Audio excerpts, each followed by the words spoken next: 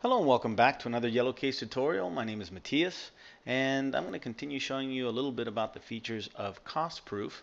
In a previous video I showed you how to enter what you pay in ink into Caldera and that is very helpful to find out how much you're spending on ink.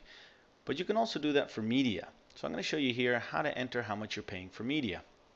Now uh, Caldera has a module called Easy Media. You may also see it in your version of Caldera as Easy Media Lite. I'm going to click and drag it down and select the printer icon and click on next.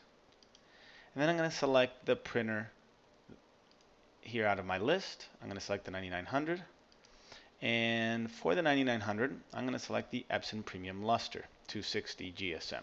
Now I can do this for every single media for every single uh, printer that I have. If I click on edit, you'll notice that one of the uh, options here besides editing the name is to enter the cost per square meter.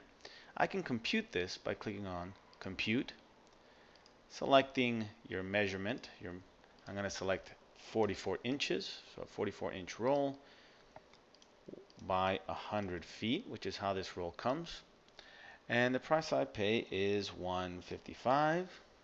I'm going to click on OK, and it automatically computes the cost per square meter. I'm going to click on OK.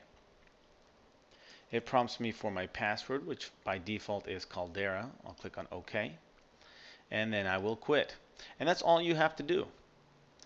So there you go. That's how to enter the cost of your media into Easy Media. And again, you can do this for every printer, for every media calibrated in that printer. All right. Hope this helps.